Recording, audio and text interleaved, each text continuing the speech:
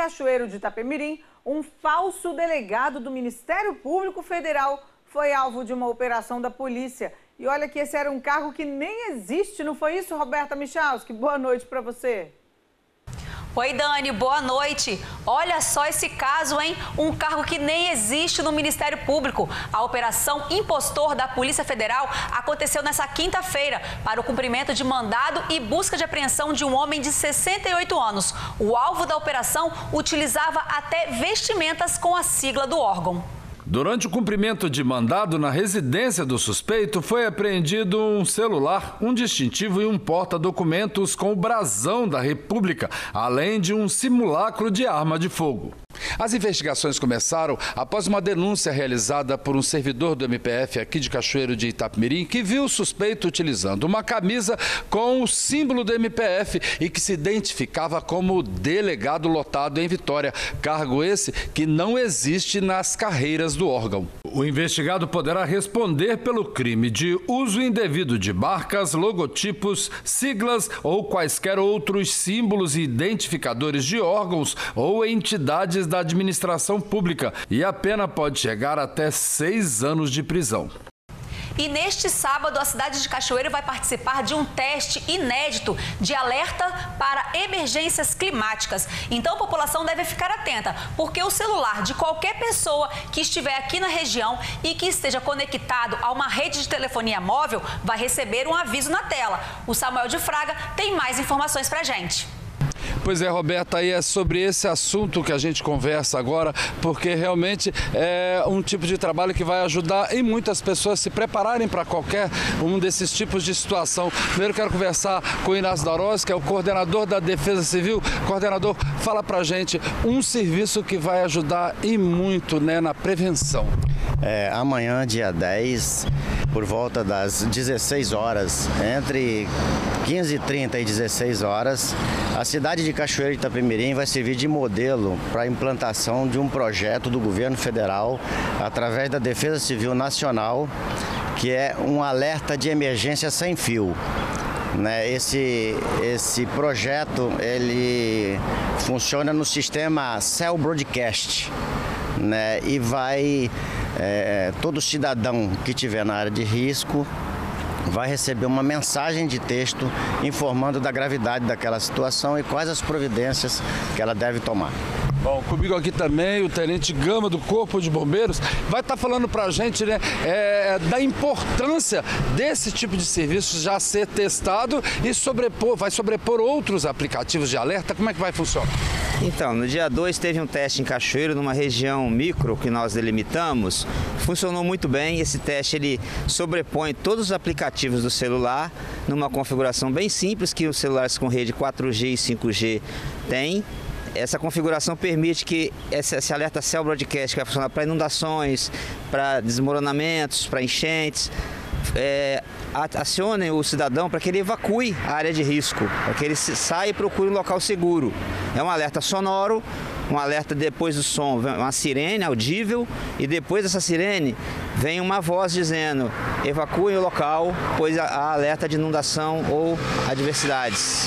Bom, coordenador, quem é em Cachoeiro que vai receber essa mensagem? Tem os locais específicos, toda a população, enfim, explica pra gente. É, não há necessidade de cadastramento do celular. É importante que tenha a tecnologia 4 e 5G é, o cidadão ele tem que estar no modo dados móveis, né, para que a torre mande a informação. Ou seja, se ele tiver no sistema Wi-Fi, ele não vai receber. Se ele estiver desligado, não vai receber. Se ele estiver no modo avião, também não vai receber. O telefone tem que estar apto a receber essa informação, informando que isso é um teste. Cachoeira Itapemirim, ela foi escolhida é, pela importância da cidade no, no Espírito Santo e mais 11 cidades no Brasil vão ter esse mesmo teste. Quanto tempo antes que a pessoa recebe essa mensagem?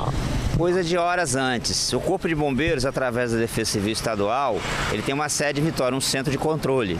Esse centro de controle vai receber os dados da Nacional, de um grupo que tem lá em Brasília, e vai emitir esse alerta para a gente aqui. Aqui vai ser no estado todo, mas a princípio vai ser aqui, que é um teste.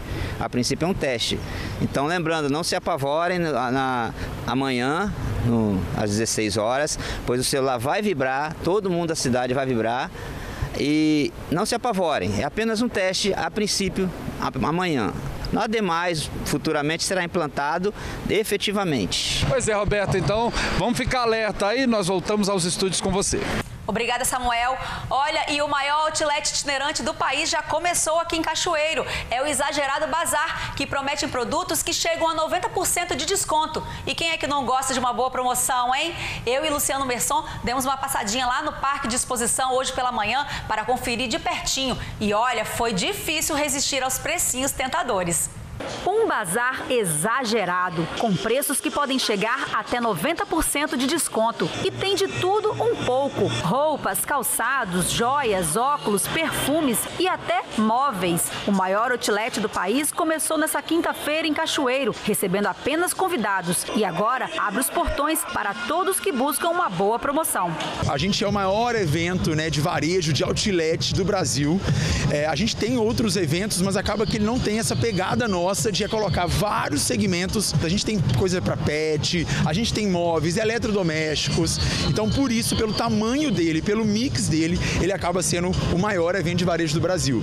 São aproximadamente 70 expositores em mais de 15 categorias. Rose tem uma loja de roupas feminina em Cachoeiro e participa pela segunda vez. A expectativa é de mais um ano de sucesso. O local né, que foi escolhido esse ano exagerado é maravilhoso. Tem estacionamento, prazo de alimentação grande, então dá para vir com a família toda. Então a nossa expectativa é movimentar mesmo o nosso comércio.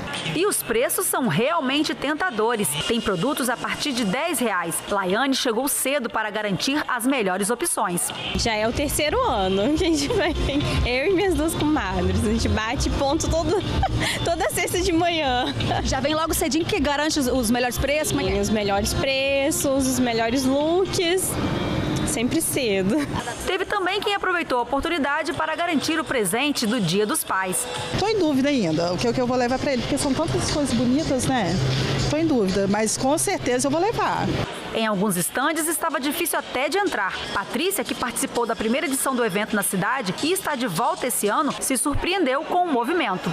Nossa, está maravilhoso. Ontem foi uma loucura o primeiro dia para convidados e hoje já começou do jeito que você está vendo aí, o tempo inteiro cheio e a, a gente espera que continue assim. A gente participa todo ano e a expectativa é muito boa.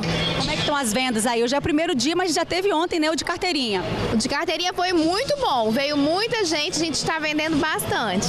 A expectativa dos organizadores é que mais de 40 mil pessoas passem por aqui até o domingo, além de ser uma boa oportunidade para os consumidores e também para os lojistas. O evento também contribui para a economia local, já que pelo menos 2 milhões e meio de reais devem ser movimentados por aqui. Para quem né, quer ter acesso a produtos, coisa para casa ou até marcas desejo, então ele consegue chegar aqui e comprar isso num preço muito legal. É bom falar que tudo é original, tá, gente? Tudo tem nota fiscal e o mais importante, é tudo regional. São lojas, indústria e o comércio local que vem aqui para dentro para poder vender as peças. Então é legal para o comércio, legal para quem compra e para a cidade, porque a gente acaba movimentando aí. Além dos precinhos irresistíveis, o espaço do exagerado também conta com uma programação para toda a família. É show, programação cultural, tem coisa para criançada, tem show para criançada, tem recreação infantil. Então assim, você pode vir para cá, é um evento para ficar o dia todo. A gente está no Parque de Exposição, né? Começamos hoje, sexta-feira, vai até domingo de 10 às 10, não paga nada para entrar. O estacionamento é 10 reais, mas é o dia todo. E aí você vem para cá, você pode ter é, 4, 5, 6 horas que a gente vai ter almoço, jantar, churrasquinho, coisa para criançada, fora todos esses produtos lindos para você comprar. Uma tentação, hein, gente? Olha, o exagerado fica até domingo aqui na cidade. E o funcionamento é de 10 da manhã às 10 da noite. Eu já garanti minhas comprinhas, hein, Doni? Olha, eu fico por aqui e volto com você amanhã para o link especial de sábado. Uma boa noite.